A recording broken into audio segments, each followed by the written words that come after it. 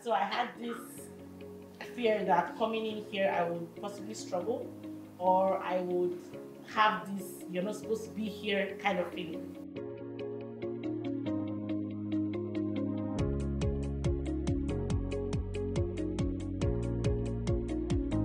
And if there's one thing I have said to different people who have asked me how my experience has been, it has been that I'm learning so much new stuff.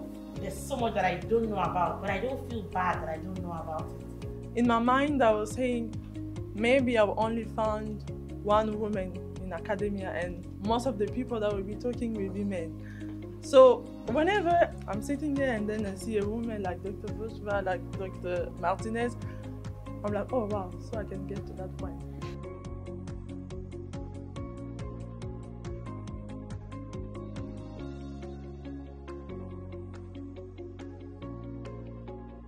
I really appreciate uh, all the time that faculty took out to really demystify a lot of topics that us as chemists and chemical engineers never get exposure to.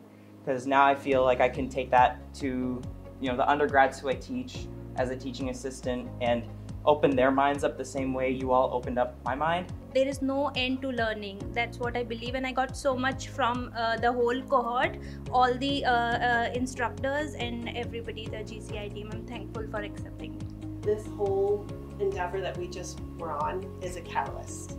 It brought a bunch of people that would not have otherwise met in any other shape or form to come and learn and be the stewards of that future that we are all aiming for.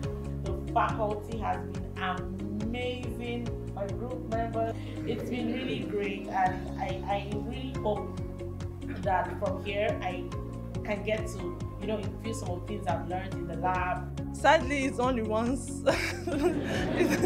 but I know maybe we, we will come back here like standing there, teaching the next generation. So thank you so much.